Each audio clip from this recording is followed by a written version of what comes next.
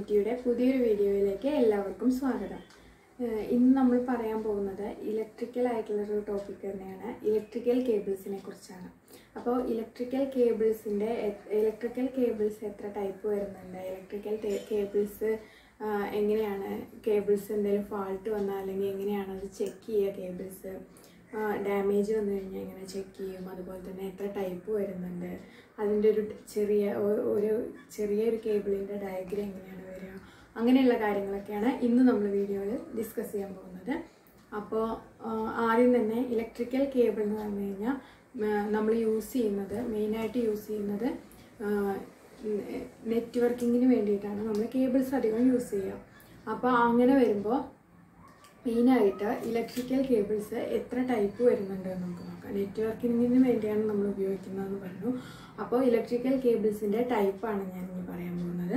Coaxial type ഉണ്ട് optical fibre ഉണ്ട് twisted pair ഇങ്ങനെ പിന്നെയും ഒരുപാട് കൂടുതൽ വരുന്നുണ്ട്. ഷീൽഡ് ഷീൽഡഡ് ടൈപ്പ് അങ്ങനെ ഒരുപാട് വരുന്നുണ്ട്. അപ്പോൾ ഈ മൂന്നെണ്ണത്തിന് മൂന്ന് മൂന്നെണ്ണമാണ് ഞാൻ ഇന്ന് മെയിനായിട്ട് പറയാൻ പോകുന്നത് അപ്പോൾ ഞാൻ ഒന്നുകൂടി പറയാം. കൊയാക്സിയൽ ടൈപ്പ് ഉണ്ട് ഒപ്റ്റിക്കൽ ഫൈബർ ഉണ്ട് ട്വിസ്റ്റഡ് പെയർ ഉണ്ട്.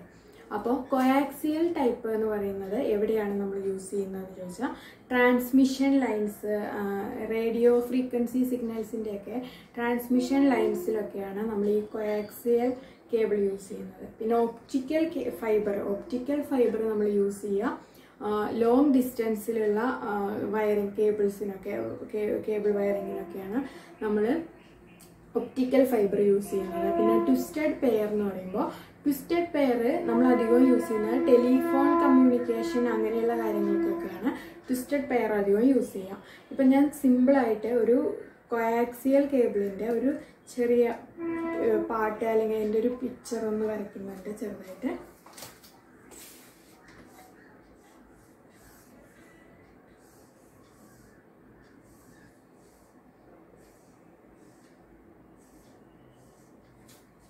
ഇതിപ്പോൾ വലിയ ഒരു ബ്ലാക്ക് കളറുള്ള ഒരു കേബിളിന്റെ ഉൾഭാഗം ഉൾഭാഗം ഉൾഭാഗം അങ്ങനെ അങ്ങനെയാണ് ഇത് പോകുന്നത്. അപ്പോൾ ഫസ്റ്റ് തന്നെ അതിന്റെ ഔട്ടർ പോർഷൻ ഔട്ടർ പോർഷൻ ഇത്. ഔട്ടർ പോർഷന് നമ്മൾ പറയുന്ന ഔട്ടർ ജാക്കറ്റ് എന്നാണ്.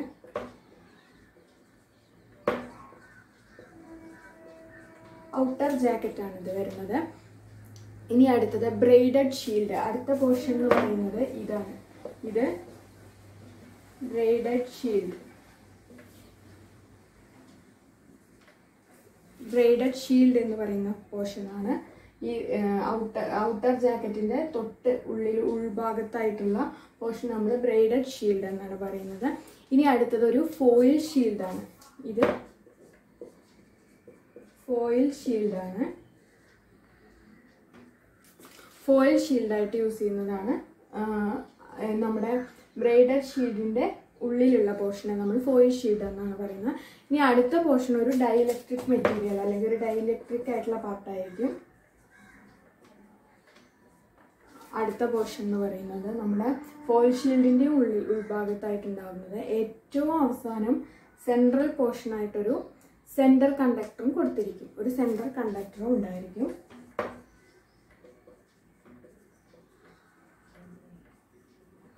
അപ്പോൾ ഇതാണ് ഒരു കോക്സിയൽ കേബിളിന്റെ സിമ്പിളായിട്ടുള്ളൊരു പിക്ചർ അല്ലെങ്കിൽ സിമ്പിളായിട്ടുള്ള അതിന്റെ ഉള്ളിലുള്ള പാർട്സ് എന്ന് പറയുന്നത്.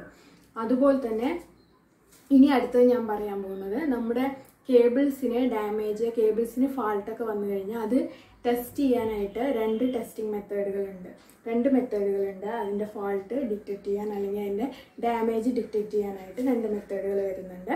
അത് ഏതൊക്കെയാണെന്ന് ചോദിച്ചാൽ ഒന്ന് കണ്ടിന്യൂറ്റി മെത്തേഡ് എന്ന് പറയും. രണ്ടാമത്തത് മെഗർ മെത്തേഡ് എന്ന് പറയും. സോറി കണ്ടിന്യൂറ്റി ടെസ്റ്റ് എന്ന് പറയും. അതല്ലെങ്കിൽ മെത്തേഡ് എന്നും പറയാം.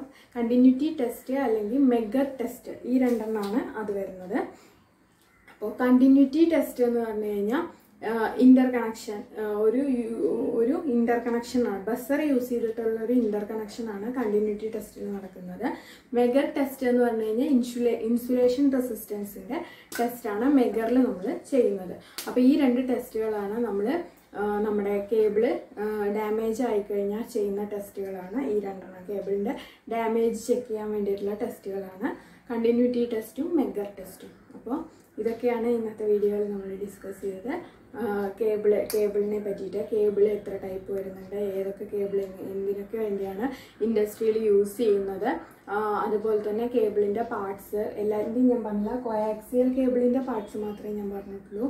പിന്നെ അതുപോലെ തന്നെ കേബിളുകൾ ഡാമേജ് വന്നു കഴിഞ്ഞാൽ നമ്മൾ ചെയ്യുന്ന ടെസ്റ്റ് ഡാമേജ് കണ്ടുപിടിക്കാനായിട്ട് നമ്മൾ ചെയ്യുന്ന ടെസ്റ്റുകൾ ഏതൊക്കെയാണെന്നുള്ളതൊക്കെയാണ് ഇന്ന് നമ്മൾ ഡിസ്കസ് ചെയ്തത്. അപ്പോൾ നിങ്ങൾക്ക് എന്റെ വീഡിയോ ഇഷ്ടമായെങ്കിൽ ലൈക്ക് ചെയ്യുക ഷെയർ ചെയ്യുക കമന്റ് ചെയ്യുക സബ്സ്ക്രൈബ് ചെയ്യുക. താങ്ക്